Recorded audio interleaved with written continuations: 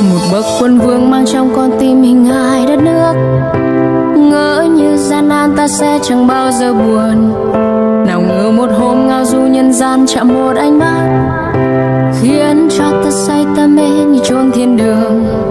Trời cao như đang chiều người thân ta khi bông hoa ấy chót mang con tim trao cho một nam nhân thường. Giận lòng ta ban cho bông hoa thơm hồi về cung cấm bên ta mãi mãi không buồn.